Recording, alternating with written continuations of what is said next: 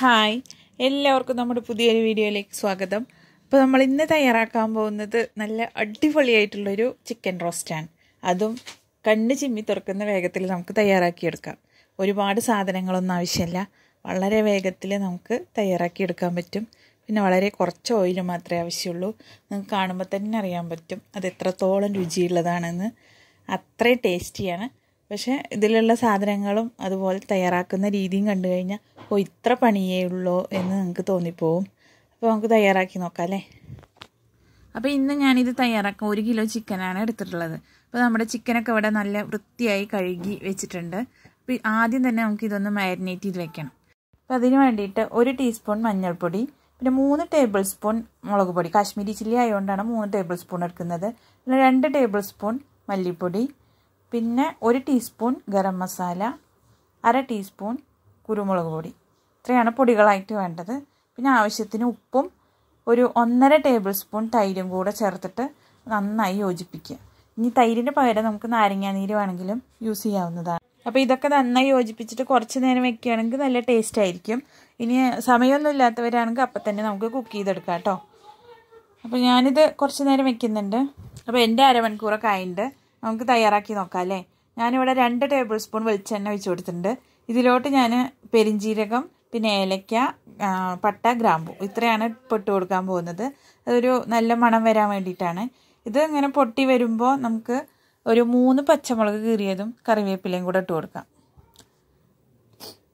പിന്നെ ആ പച്ചമുളകൊക്കെ ഒന്നിങ്ങനെ മൂത്ത് വരുമ്പോൾ ഇതിന്റെ മെയിൻ ഇൻഗ്രീഡിയന്റ് ആയിട്ടുള്ള ഇഞ്ചി വെളുത്തുള്ളി പേസ്റ്റ് അതൊരു ഒന്നര ടേബിൾ സ്പൂൺ എടുത്തിട്ടുണ്ട് കേട്ടോ പേസ്റ്റ് ആവണമെന്നൊന്നുമില്ല. ഒന്ന് ചതച്ചെടുത്താലും മതി. ഇപ്പോൾ ഹോസ്റ്റലിലുള്ളവരൊക്കെ ആണെങ്കിൽ നമുക്ക് റെഡിമെയ്ഡ് വാങ്ങിക്കാൻ കിട്ടും. അല്ലെങ്കിൽ ആ കല്ലിലൊക്കെ ഒന്ന് ചതച്ചെടുത്താൽ മതി കേട്ടോ അപ്പോൾ ഇത് നന്നായി മൂത്ത് വരുമ്പോൾ നല്ലൊരു മണമാണ് എന്റെ എന്റെത് നന്നായി മൂത്ത് വന്നിട്ടുണ്ട്. അപ്പോൾ നമുക്ക് നമ്മളുടെ ആ ചിക്കനും കൂടെ ഇട്ട് കൊടുക്കാം കേട്ടോ കളറ് കണ്ടോ? കാശ്മീരി ചില്ലിയുടെ കളറാണ്. ഇനി നന്നായി ഒന്ന് ഇളക്കി ഒരു രണ്ട് മിനിറ്റ് വെക്കുമ്പോൾ ആ ചിക്കനിലുള്ള വെള്ളമൊക്കെ ഇങ്ങനെ റിലീസായി വരും. അപ്പം അതിന് ശേഷം നമുക്ക് അടച്ചു വെച്ചിട്ട് വേവിക്കാം. അപ്പം ചിക്കനിൽ വേവാനുള്ള വെള്ളം അതിൽ തന്നെ ഉണ്ടാവാറുണ്ട്. അല്ലെങ്കിൽ നമുക്ക് നമ്മളുടെ ചട്ട് പാത്രങ്ങൾക്കൊക്കെ അനുസരിച്ചിട്ട് ചിലപ്പോൾ വ്യത്യാസം വരാം. അപ്പം നമുക്ക് ഒരു അര ഗ്ലാസ്സോ ഒക്കെ വെള്ളം ഒഴിച്ചു കൊടുക്കാവുന്നതാണ്. അത് വേവാനുള്ള വെള്ളം മാത്രമേ വേണ്ടുള്ളൂ. കാരണം ഇത് വറ്റിച്ചെടുക്കാനുള്ളതാണല്ലോ. അടച്ചു വെച്ചിട്ട് മീഡിയം ഫ്ലെയിമിലിട്ടിട്ട് ഇടയ്ക്കിടയ്ക്ക് തുറന്നൊക്കെ ഇളക്കി നോക്കിയാൽ മതി.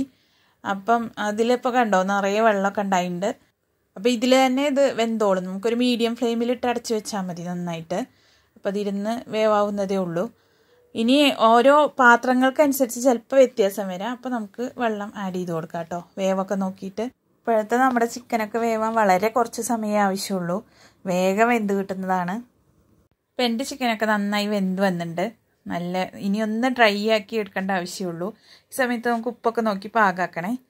പിന്നെ നമുക്ക് ഈ ആവശ്യമാണെങ്കിൽ നമുക്ക് അതൊന്ന് ടേസ്റ്റ് ചെയ്ത് നോക്കിയിട്ട് ആവശ്യമാണെങ്കിൽ കുറച്ചുകൂടെ ഗരം മസാലയും കറിവേപ്പിലയും ഒക്കെ ഇട്ട് കൊടുക്കാം കേട്ടോ. ഞാനിവിടെ ആഡ് ചെയ്യുന്നുണ്ട്. ഈ കറിവേപ്പിലയ്ക്കൊക്കെ പ്രത്യേക ഒരു മണമാണല്ലോ ഇനി ഒന്നുകൂടെ ഡ്രൈ ആക്കി മല്ലിയിലയും കൂടെ ഇട്ട് കൊടുത്താൽ നമ്മളുടെ പണി തീർന്നു. അത്രയാണ് ഞാൻ എപ്പോഴും ചെയ്തുകൊണ്ടിരുന്നത് പിന്നെ ഒരു സമയത്ത് ഞാൻ ഈ ബിരിയാണിക്ക് വറുത്ത് വെച്ചിട്ടുള്ള ഉള്ളി കുറച്ച് ഈ സമയത്ത് ഇട്ട് കൊടുത്തപ്പം അതിന് ഭയങ്കര ടേസ്റ്റ് വ്യത്യാസം തോന്നി. അതായത് നല്ല കുറച്ചുകൂടി നല്ല ടേസ്റ്റ് ആയിട്ട് തോന്നി. വളരെ കുറച്ചുള്ളി മതി. പിന്നെ ആ ഉള്ളി വറുത്ത എണ്ണയിൽ തന്നെ നമുക്ക് ഇതൊക്കെ ചെയ്തെടുക്കുകയും ചെയ്യാം കേട്ടോ. ഇവിടെ ഇപ്പോൾ ഞാൻ രണ്ട് ഉള്ളി വറുത്തതാണ് ഇട്ട് കൊടുക്കാൻ പോകുന്നത്. അതില്ലെങ്കിലും കുഴപ്പമൊന്നുമില്ല. ഒന്നുകൂടെ ഡ്രൈ ആക്കിയിട്ട് മല്ലിയിലയും കൂടെ ഇട്ടിട്ട് ഓഫാക്കിയാൽ മതി. ഇതും കൂടെ ഇടുമ്പോൾ അതിന് പ്രത്യേക ഒരു ടേസ്റ്റ് വരും കേട്ടോ. നല്ല ടേസ്റ്റാണ് അപ്പോൾ നമുക്ക് മല്ലിയിലയും കൂടെ ആഡ് ചെയ്ത് കൊടുക്കാം. എന്നിട്ട് നന്നായി ഒന്ന് ഇളക്കി കഴിഞ്ഞാൽ നമ്മളുടെ യമ്മി ചിക്കൻ റോസ്റ്റ് റെഡിയായി കഴിഞ്ഞു. വളരെ വേഗത്തിൽ നമുക്ക് തയ്യാറാക്കിയെടുക്കാൻ പറ്റും.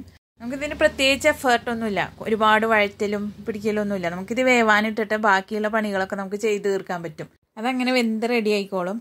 നല്ല ടേസ്റ്റുള്ള റോസ്റ്റാണ് കേട്ടോ പിന്നെ ഇത് കുറച്ച് സ്പൈസി ആയിട്ടുള്ള ഒരു റോസ്റ്റ് ആയിട്ടാണ് ഞാൻ ഇന്ന് തയ്യാറാക്കിയിട്ടുള്ളത്. അതായത് പച്ചമുളക് ഇട്ടിട്ടുണ്ട് കുരുമുളക് ഇട്ടിട്ടുണ്ട് പിന്നെ മുളക് പൊടിയുണ്ട്. അപ്പോൾ നിങ്ങൾക്ക് സ്പൈസസ് ഒക്കെ ഇപ്പോൾ കുട്ടികളൊക്കെ ആണെങ്കിൽ അതിനനുസരിച്ച് കുറയ്ക്കാവുന്നതാണ്. അല്ലെങ്കിൽ ഇത് പ്രിപ്പയർ ചെയ്തതിന് ശേഷം കുട്ടികൾക്ക് കൊടുക്കുമ്പോൾ കുറച്ച് സോസ് കൂടെ ആഡ് ചെയ്തിട്ട് ഒന്നുകൂടെ ഒന്ന് മിക്സ് ചെയ്ത് കൊടുക്കുകയാണെങ്കിൽ അതിന്റെ ആ എരിവൊക്കെ ഒന്ന് കുറയും. അപ്പം ഞാൻ അങ്ങനെയൊക്കെയാണ് ചെയ്യാറ്. നല്ല ടേസ്റ്റി ആയിട്ടുള്ള ഒരു അടിപൊളി റോസ്റ്റാണ് നമുക്ക് ഗസ്റ്റൊക്കെ വരുമ്പോൾ പെട്ടെന്ന് പ്രിപ്പയർ ചെയ്ത് കൊടുക്കാൻ പറ്റും. അപ്പോൾ എല്ലാവരും ട്രൈ ചെയ്ത് നോക്കുക. അഭിപ്രായങ്ങളൊക്കെ അറിയിക്കുക. ഇഷ്ടപ്പെടുവാണെങ്കിൽ ലൈക്ക് ചെയ്യുക ഷെയർ ചെയ്യുക സബ്സ്ക്രൈബ് ചെയ്യുക. അപ്പോൾ നമുക്ക് അടുത്ത വീഡിയോയിൽ കാണാം അല്ലേ? ശരി ഓക്കെ ബൈ ബൈ താങ്ക്